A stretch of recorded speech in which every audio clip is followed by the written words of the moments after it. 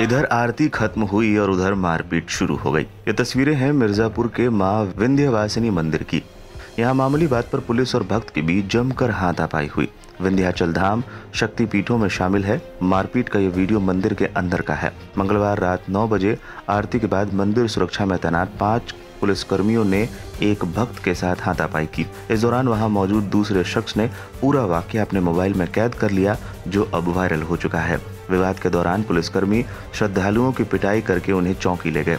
जैसे ही खाकी का रौब दिखाने वालों का वीडियो वायरल हुआ, पुलिस महकमे में हड़कम मच गया। घटना के एक घंटे के अंदर ही पुलिस ने एक्शन लिया और एसपी ने सभी पाँच पुलिसकर्मियों को निलंबित कर दिया है। थाना विंध्याचल अंतर्गत मंदिर पर एक विवाद की सूचना प्राप्त हुई, जिसमें कि एक वीडियो संज्ञान में आया, जिसमें कि कुछ सिपाही एवं कुछ वहाँ पे जो लोग हैं, उनके बीच में कहा सुनी इत्यादि हो रहा है। इस वीडियो का संज्ञान लेते हुए ही तत्काल प्रभाव से इसमें जो पाँच आरक्षी, मुख्य आरक्षी थे, उनको निलंबित किया गया है, सस्पेंड किया गया है।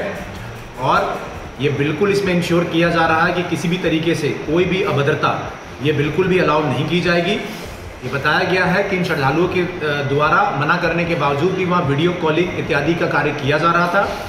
इसको आग्रह पूर्ण रूप से इसको रखे जाना ज़रूरी था। आग्रह करके सही ढंग से अपनी बातों को रखने, रखा जाना चाहिए था। इसमें लापरवाही बरती गई है। वहाँ पे जो लोग आरक्षी, मुख्य आरक्षी थे, इसीलिए उनको सस्पेंड भी किया गया है। एवं ये भी निर्देशित किया जा रहा है इंश्योर किया जा रहा है कि जो भी वहाँ पे कानून व्यवस्था है या जो भी रूल्स हैं, उनको प्रॉपर तरीके से आग्रह के रूप में, अनुरोध के रूप में उसको लागू किया जाए मंदिर पे। या कोई अगर बात नहीं मान रहा है तो उसको अलग ढंग से उसको अवगत कराइए, कानून के दायरे में रह के। लेकिन इस तरीके की जो बदमाशी है, ये बिल्कुल ही बर्दाश्त नहीं की जाएगी।